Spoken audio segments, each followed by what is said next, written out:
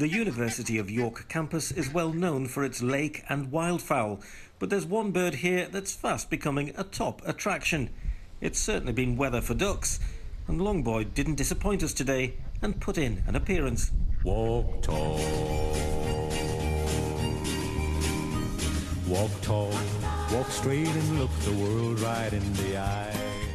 We think he's a hybrid between a, a wild mallard duck and then an Indian runner duck, which is a type of domestic duck, which they're very tall, they're very long, uh, and they sort of run when they walk instead of walking. So that's why he is so tall and he does look the way he does. But we do think he has got a bit of wild mallard in him as well. Now, you probably wouldn't think it to look at Long Boi. He just looks like another normal duck, doesn't he? But if we can get him to stand up for a bit of. Hello, I wasn't talking to you. Not you, Long Boi. He doesn't seem very interested in the food I've got, but then again, it is mating season.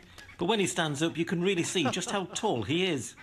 When he stands up, he's so long. Yeah, you can definitely like tell it's him, can't you?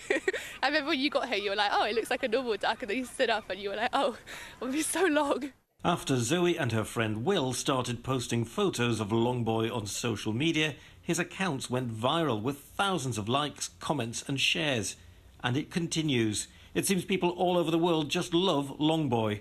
Right now, he's just like tripled in size. We've had all over the world, loads of different people, different news organisations, celebrities.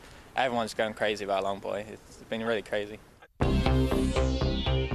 Like any international celebrity, Long Boi needs merch, so the students have come up with an array of fashion accessories that can be worn by his adoring fans.